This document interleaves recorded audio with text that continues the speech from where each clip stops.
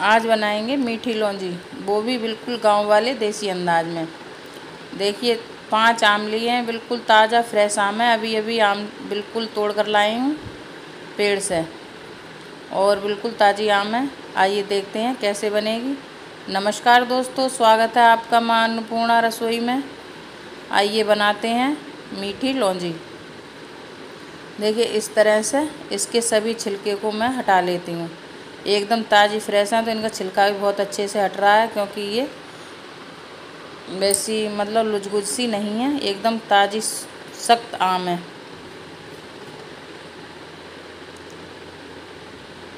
इस तरह से सभी के हम छिलके हटा लेते हैं।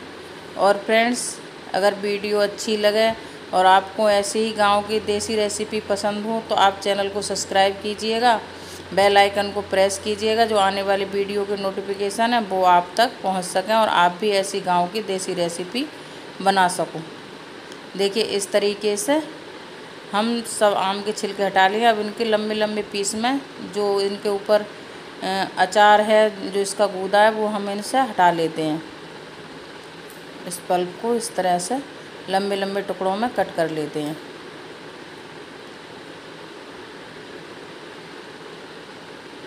इस तरीके से हम इसे कट कर लेते हैं और सभी को हम उतार लेते हैं और ये गुठली भी हम इसमें डालेंगे। ये बहुत ही टेस्टी लगती है और लंबे लंबे पीस में हम इस तरह की ये इसकी जो पीस बनाएँगे। देखिए, सिगरे आम मैंने काट लिए हैं और इस तरह से लंबे लंबे टुकड़े बना लिए हैं और ये गुठली भी है इसकी और रखते हैं अब कढ़ाई। देखिए, अब बनाना शुरू करते हैं। कढ़ाई रख दी है। कढ़ाई में एक चम्मच डाल दिया है सरसों का तेल, इसमें तेल ज़्यादा मत डालिएगा। बस इतना ही काफ़ी है। और अब थोड़ी सी मेथी दाना और गैस का फ्लेम कर दीजिएगा लो।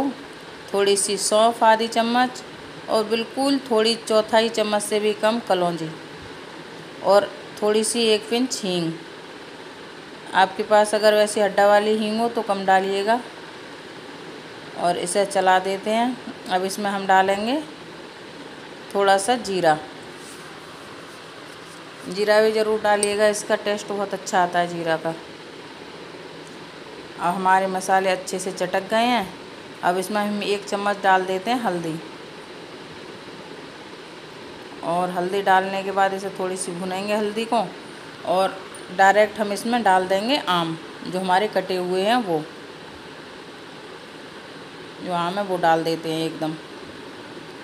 और फ्रेंड्स, इससे नहीं चल रही दूसरी मुझे लेनी पड़ेगी चलाने के लिए। अब इसमें मैं डाल देती हूँ पानी। पहले इसमें पानी डाल देते हैं, क्योंकि गैस का फ्लेम लो है और लो रखिएगा, एकदम पानी डाल दीजिएगा, क्योंकि ये अच्छे से पकनी है। जब अच्छे से सॉफ्ट हो जाएँगे, उसके बाद हम दिखाएँगे। और गैस का फ्लेम, इसे ज़्यादा हाई फ्लेम पे नहीं पकाना है, बस लो मीडियम फ्लेम रखिएगा मीडियम और इसे ढक देते हैं, कम से कम चार से पाँच मिनट के लिए। इसे ढक्कन लगा देते हैं और इसे हल्के हल्के आँच से उबलने देते हैं। देखिए, अच्छे से ये उबल रही है, और अब ढक्कन हटा के हम देख लेते हैं। देखिए, कितनी अच्छी उबल रही हैं एकदम। चला के देखते हैं। कलर भी कितना अच्छा आ गया है इस पर और बहुत ही टेस्टी बनती है फ्रेंड्स। अगर बाहर रख के भी आप फ्रिज से बाहर भी पंद्रह दिन तक खा सकते हैं। और फ्रिज में रख के आप एक से डेढ़ महीने तक ऐसा खा सकते हैं। ये ख़राब बिल्कुल नहीं होती है। एक चम्मच इसमें मैंने धनिया पाउडर डाल दिया। एक चम्मच कश्मीरी लाल मिर्च और डेढ़ चम्मच डाली है मैंने इसमें सौंप और स्वाद के अकॉर्डिंग नमक। और इसे चला देते हैं हम। एक से डेढ़ महीना ख़राब नहीं होती है। अगर आप कहीं सफ़र में जा रहे हैं, फिर भी आप इसे ले जा सकते हैं। बहुत ही टेस्टी और हेल्दी रेसिपी बनकर तैयार होती है। और अब इसमें मैं एक कटोरी मतलब 200 ग्राम इसमें डाल दूँगी गुड़।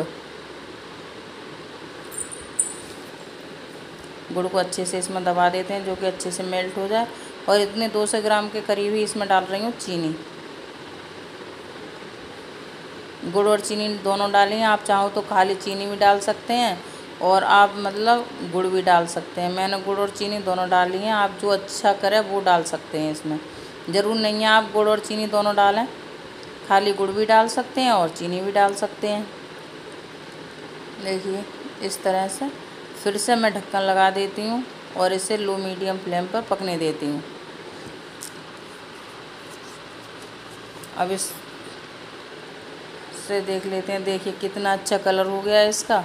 और अब ये बिल्कुल तैयार है बनकर। अच्छे से ये बिल्कुल सॉफ्ट हो गई है और थोड़ी देर ये ठंडी होने के बाद बहुत गाढ़ी हो जाएगी। इसी तरह से आप इसे हटा लीजिएगा, क्योंकि ये मत देखिएगा कि ये पतली है और रखने के बाद ये बहुत ज़्यादा गाढ़ी हो जाएगी। इन पर ये सब जो इसका मतलब जो पतला पतला पानी दिख रहा है, रसा दिख रहा है, ये सब गुठली पर लग जाएगा। और बहुत अच्छी हमारी लौंजी बनकर तैयार हुई है फ्रेंड्स। पूड़ी, पराठे, नमक की रोटी, पानी की रोटी बनाई जाती है गाँव में, उसके साथ में आप खाइएगा। बहुत ही टेस्टी रेसिपी है, आप ज़रूर बनाइएगा और एक से डेढ़ महीने तक आप फ्रिज में रखे इसे आराम से खा सकते हैं। एकदम गाँव की देसी रेसिपी। अगर आपको मेरे बताने का तरीका पसंद आया हो, अगर मेरी वीडियो पसंद आई हो, आपको मेरी रेसिपी पसंद आई हो तो चैनल को सब्सक्राइब कीजिएगा, बेल आइकन को प्रेस कीजिएगा और वीडियो को लाइक ज़रूर कीजिएगा। जो आने वाली वीडियो नोटिफिकेशन आपको मिल सके। राधे राधे।